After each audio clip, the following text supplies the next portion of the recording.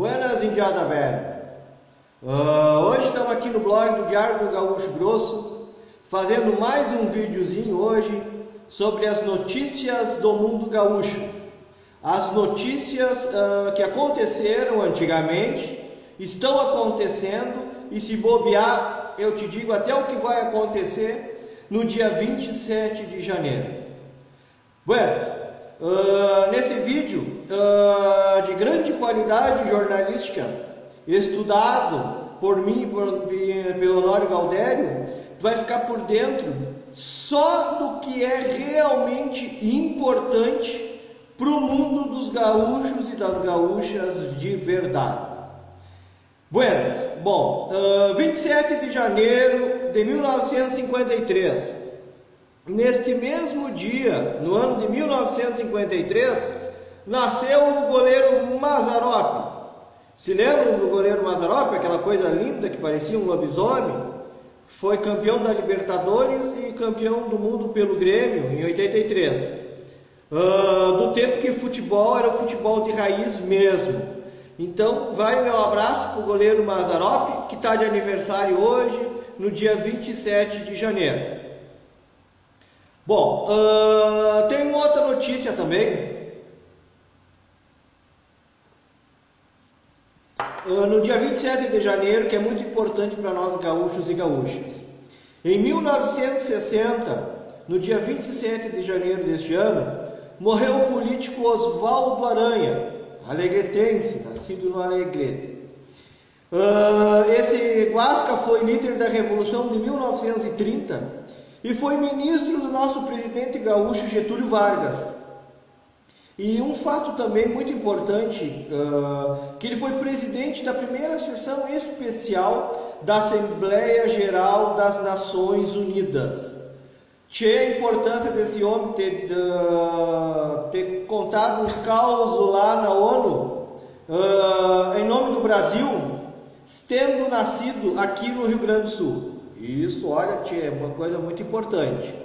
Mas mais importante disso tudo é que Oswaldo Aranha é nome de uma rua aqui em Porto Alegre, capital de todos os gaúchos.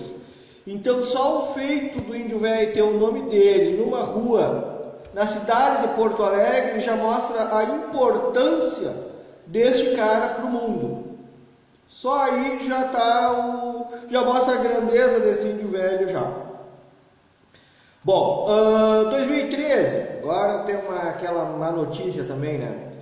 Uh, dia 27 de janeiro de 2013, nesse mesmo dia, estava acontecendo em Santa Maria uma das piores tragédias uh, da humanidade, onde morreram 242 irmãos nossos na tragédia da Boate 15, naquele incêndio horrível.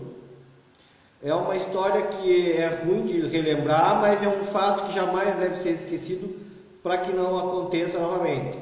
Então vai o meu abraço assim, inchado para todos os familiares e todas as pessoas que participaram de um certo modo né, desta, deste fato aí. Bom, vamos hoje, 27 de janeiro de 2019. Tchê, hoje o meu clube do coração, o São José de Porto Alegre, entra em campo contra o Internacional. Já vou te dizendo que vai ser um 5 a 0 para o São José. Uh, para quem não sabe, o estádio do São José é o Passo da Areia, mas ele é mais conhecido como o Zequinha.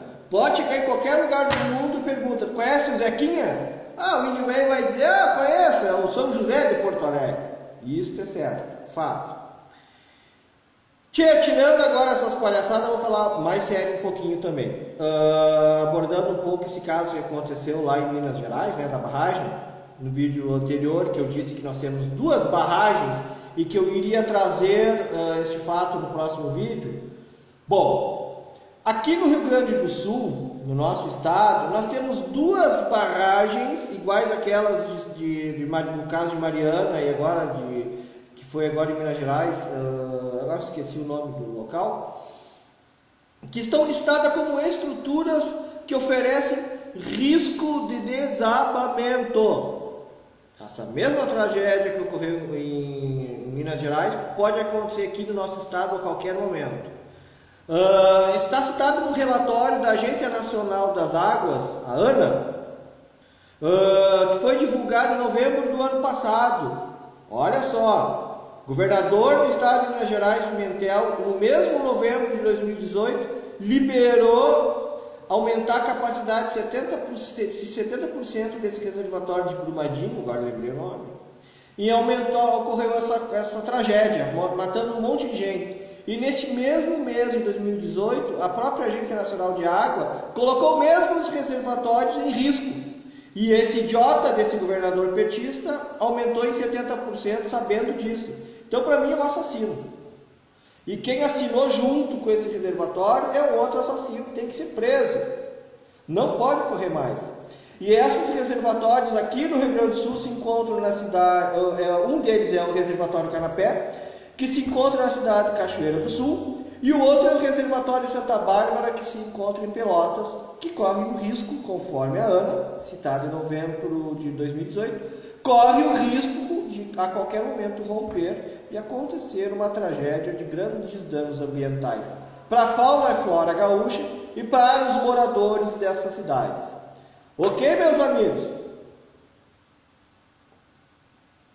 Então fica um abraço inchado ao Galdério.